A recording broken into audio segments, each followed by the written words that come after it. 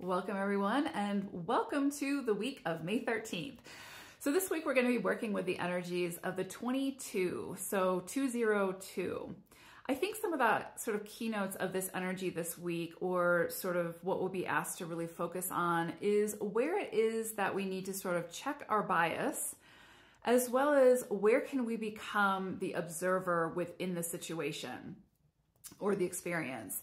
And so really, you know, when we're fully immersed within a situation, when we when our, you know, when we feel passionate about whatever it is that we're involved in, it's really hard to sort of see the full spectrum, to see the full landscape of what's actually happening. And the two energy will ask us to hit the pause button, to stand back a little bit, and to really take a look at the whole scene. What's actually really happening? Because in doing so, we can then sort of pinpoint where the disconnect is occurring and come up with some kind of a solution to reconnect, to meet in the middle, to see eye to eye, that sort of thing.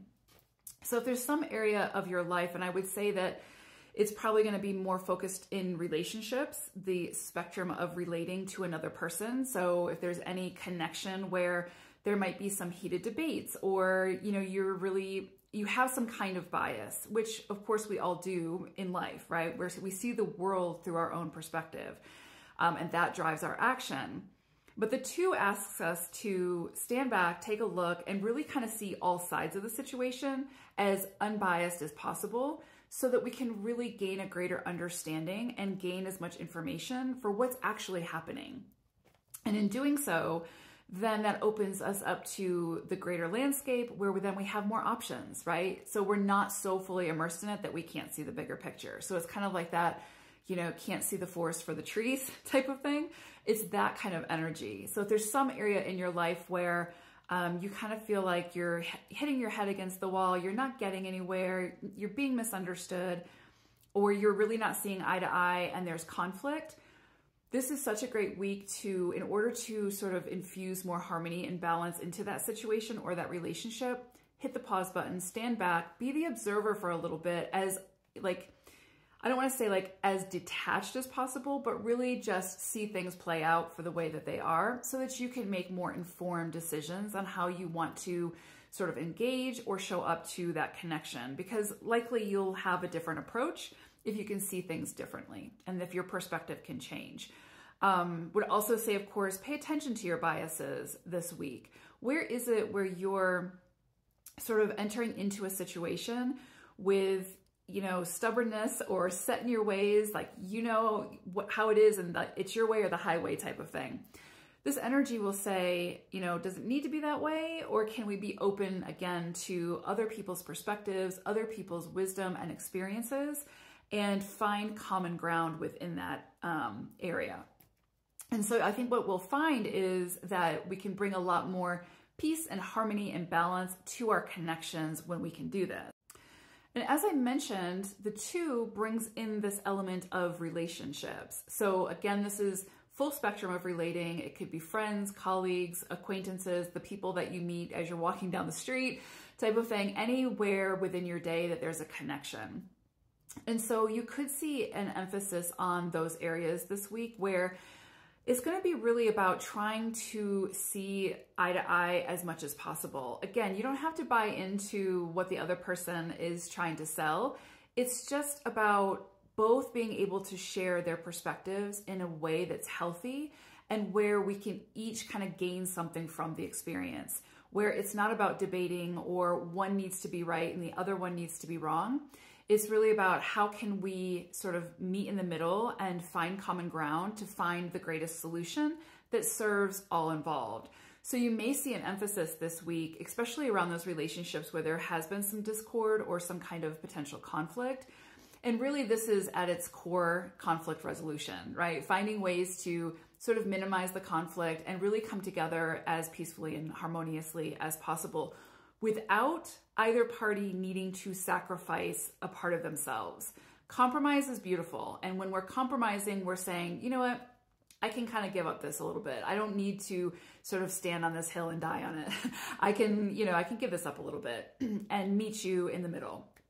Sacrifice would be like, okay, I'm getting rid of everything I believe in to accommodate you and to diffuse the situation and to, you know, create peace and harmony at my expense.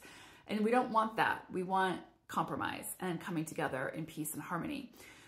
So I do think that this will be an opportunity for each of us to find a way to do more of that, to compromise more in a way that is beneficial to all involved and um, where we can come up some, with a greater solution. The other thing that I will say is because we're also working with the 20 energy, right? So we've got that double two, 22, but we also have the energy of the zero. And this is significant because what this brings in is sort of this energy of a clean slate like a refresh button, um, a do-over, so to speak. So you could see with your some of your connections that there is this opportunity for doing things differently, trying something new, two people coming together um, in new light, so to speak. So if there is a situation where maybe things fell apart um, or there was some kind of um, breakdown, this could be a time where you actually can reconnect with that individual, you both have potentially moved through some things in life and evolved and come up with, um, you know, you just might be different people at this time. And so the timing might be better for you to find that harmony and balance within that connection, or at least to find forgiveness and to release any animosity or anything that's holding either of you back. So with this zero energy, just think of it as you walk into a room and everything's fresh and new and clean and it's a starting point. So you could find this with some of your relationships where no matter what has happened in the past, and I'm not saying avoid it or minimize it or disregard it, but I'm saying this energy can bring in sort of this refresh, this refresh button that says, you know what, this happened, we can talk about it, we can move on from it, but we can also start new. We can start also start over um, and meet each other where we are at in this moment, not from where we were previously or where we were before, but where we are now. So it's really beautiful for that. So you could see that you get a fresh start with a, within a connection that the lines of communication might open in a different way to allow each person to see things from a different vantage point um, that can really help to create healthier, uh, more sustainable relationships.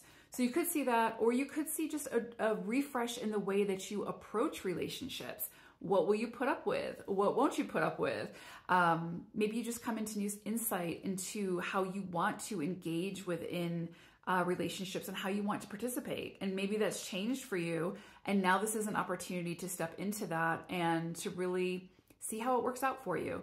So really, truly beautiful energies this week for, you know, coming into greater relationship, for finding that peace and harmony and also balance.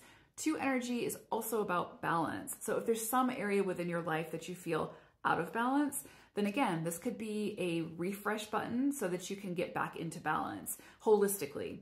Um, and again, this can also be with relationships to yourself. So First, we have to come back to ourselves before we can come together with others in order to have those healthy, um, sustainable relationships.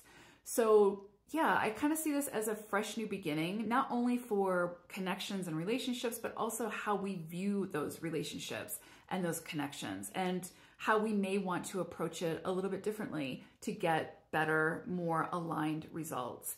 So overall, just incredibly beautiful energy this week, especially when it comes to relationships and how we approach those. So yeah, it can be really beautiful if we work with the energy and allow it to do its magic, but doesn't work if we don't show up and put in the effort. So I hope it is a beautiful week for you all. Thank you so much for being here and I'll see you again soon.